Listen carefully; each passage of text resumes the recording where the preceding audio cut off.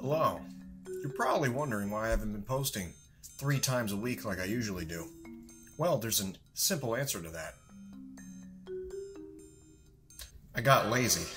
And I was also, uh, school's about to come up, so I was like, I, I might as well uh, enjoy the last week before it happens.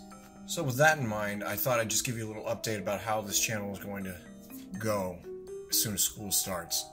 Starting next week, I'm going to be uploading at least twice a week. So expect it on Mondays or Tuesdays. Mondays Monday or Thursdays.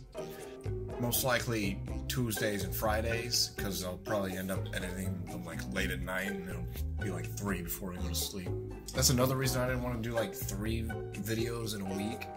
Because if I did like three videos, I'd be really tired and I just would hate everything about life. So I'm not doing that again. That, that's a, that's a no. I'll get back to three videos or maybe even four um, during break or something. And since I'm going to two videos a week, obviously there's going to be no playthroughs. So I'm going to finish Mr. Hop's Playhouse 2, and then from there we'll see.